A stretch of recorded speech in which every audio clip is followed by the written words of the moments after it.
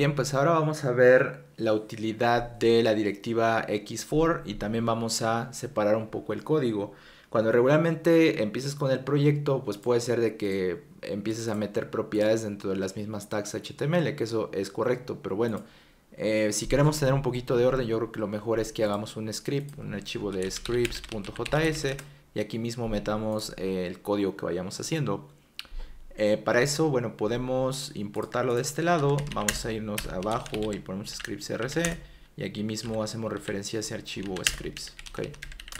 Bien, eh, lo que podemos mejorar aquí en este código que habíamos hecho al principio, pues es definir como tal el componente. Ya te había platicado que xdata pues es para definir un componente. Lo que podemos hacer aquí es poner una constante app y vamos a decirle aquí que es igual a un objeto. Entonces aquí adentro lo que podemos hacer es meter eh, pues lo mismo, ¿no? El mensaje, por ejemplo. Aquí podemos ponerle un, en vez de mensaje, un título. Eh, para que sea el título de nuestro componente. Entonces vamos a ponerle todo list. ¿Vale? Bien, de esta manera ya podemos borrar todo nuestro objeto de nuestra xdata y simplemente definir el nombre del componente que sería app. Entonces vamos a ponerle aquí app. Eh, después, pues podemos aquí mismo poner, o, inclusive esto, podríamos ponerlo en un div. Vamos a poner div y aquí vamos a poner xdata, que sea igual a nuestro componente app. Y bueno, toda esta tag pues va, digamos, a encapsular lo que es ya la funcionalidad de nuestra aplicación. Entonces aquí adentro nos olvidamos de esto y simplemente ponemos el xtext con el mensaje, que esto debería de, de tomarlo. Aquí vemos que nos imprime, dice mensaje no ha sido definido. Esto es porque em, vamos a revisar aquí, se llama title, no se llama mensaje, entonces ponemos title y vemos que ya aparece aquí to do list. De esta, esta es digamos la manera más limpia de trabajar con Alpine para no estar definiendo funciones y datos dentro de las mismas etiquetas. Entonces eh, vamos a estar trabajando así, de esta forma, un poquito más ordenada. Bueno, como en cualquier lenguaje de programación, Alpine también tiene forma de hacer iteración de datos y eso lo hace con su directiva X4. Para hacer esto, bueno, nos dice que tenemos que poner X4 en una etiqueta template, que esto obviamente no se pone en el DOM, pero así es como nos lo dice. Entonces, aquí lo que podemos hacer es poner un X4 y bueno, vamos a explicar la sintaxis.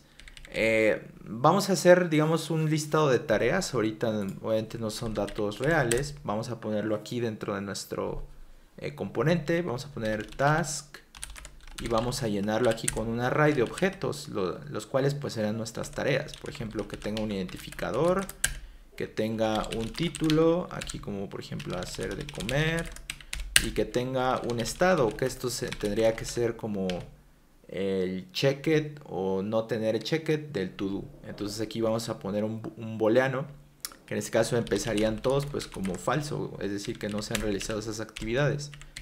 Y bueno, podemos hacer otros dos más, aquí este con índice 2, este que se llama que se llame salir a correr. Este aquí que se llame no sé, dormir, por ejemplo.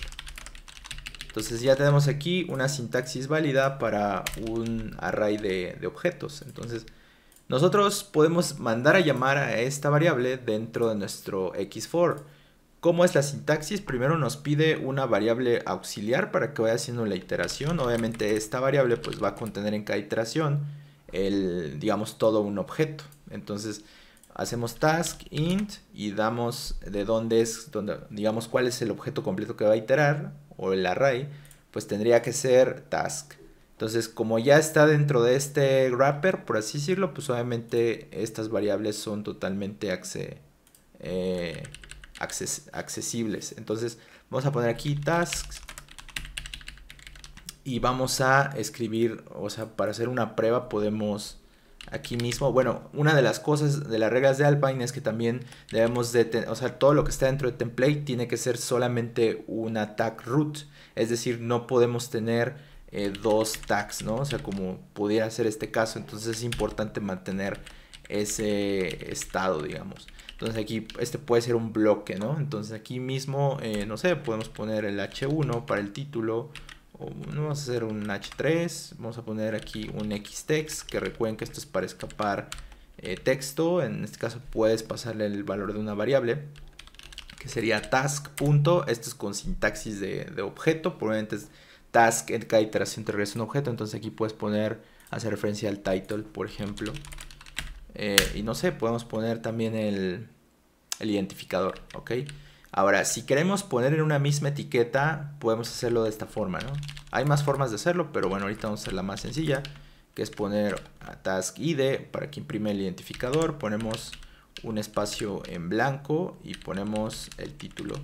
Entonces nosotros si guardamos, vamos a ver qué está pasando acá y vemos que efectivamente ya están iterando todas nuestras tareas. Ahora, una, una, cuestión importante para el Paint es definir cuál es la llave, digamos, de cada registro. Esto, pues es más por temas de performance del mismo, de la misma biblioteca, de cómo está hecha y bueno, recomienda en su misma documentación que se haga, que se define una llave única, ¿no? Para el reordenamiento de, de elementos, etcétera. Entonces, aquí lo que vamos a hacer es poner una llave que puede ser el ID de aquí adentro o inclusive también puedes utilizar eh, digamos el índice o la llave automática que ya te genera eh, un array. Que eso sería un, eh, bueno para lo que vamos a hacer sería un poquito más sencillo controlar con esas IDs lo que podemos hacer es aquí poner un paréntesis poner task coma y poner la llave. De esta forma nosotros podemos sacar esa llave. La definimos aquí y listo. Ahora nosotros eh, ya tenemos aquí una estructura válida de todo esto. Y bueno, prácticamente así es como trabaja el X4. En el siguiente video pues ya vamos a estar eh, haciendo más cosas con nuestras tareas.